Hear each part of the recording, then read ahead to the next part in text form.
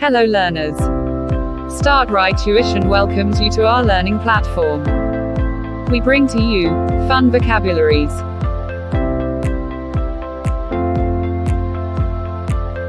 Today, we will be learning about grassland habitat.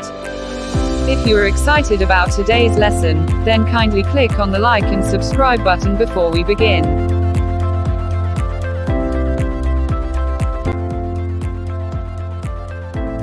Grasslands are wide expanses of land filled with low-growing plants such as grass and wildflowers.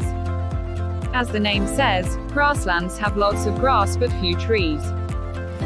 The trees found in grasslands are usually shorter than trees found in the forest. The amount of rain in a grassland is not enough to grow tall trees. Grasslands are usually located between deserts and forests. Savanna is an example of a grassland. A variety of plants and animals live in the grasslands. Can you name some few animals and plants that can be found in a grassland habitat? Here are some few examples of plants and animals that can be found in grassland habitats.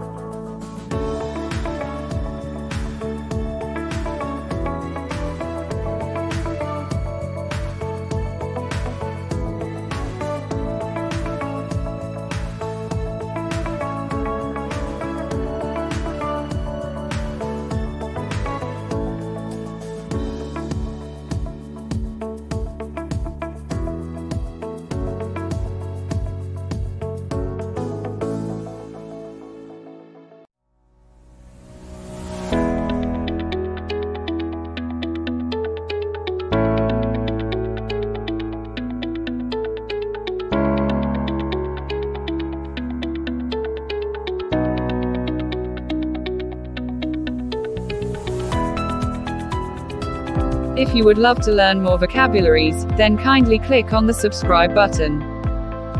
Also, don't forget to like and share this video. Thanks for watching and see you on our next lesson.